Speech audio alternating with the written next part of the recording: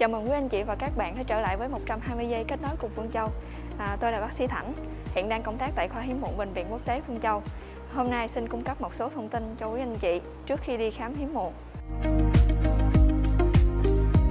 Hiếm muộn là tình trạng một cặp vợ chồng giao hợp đều một tuần khoảng 2 đến 3 lần, không ngừa thai nhưng trong một năm vẫn chưa có bé. Đối với người vợ trên 35 tuổi, thời gian này chỉ còn là 6 tháng.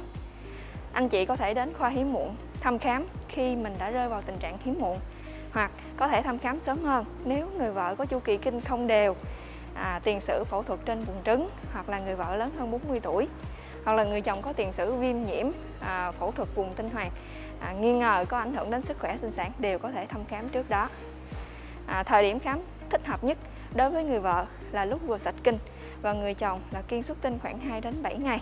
Anh chị đi từ thứ hai đến thứ bảy à, khoa hiện tại ngưng nhận bệnh vào chủ nhật và các ngày lễ tết.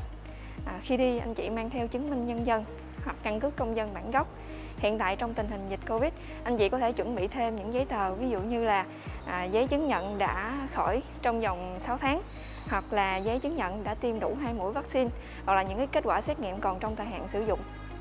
Những xét nghiệm cần thiết của hai vợ chồng khi đến khám tại khoa hiếm muộn người vợ sẽ được khám xét nghiệm dự trữ buồng trứng, xét nghiệm máu, à, siêu âm phụ khoa và khám phụ khoa.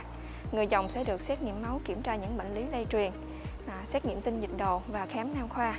Những xét nghiệm máu đều không cần nhịn ăn nha các anh chị. À, thời gian có kết quả tầm khoảng 3 đến 4 tiếng, cho nên anh chị đi trước 13 giờ chiều hàng ngày để hoàn thành hết tất cả xét nghiệm.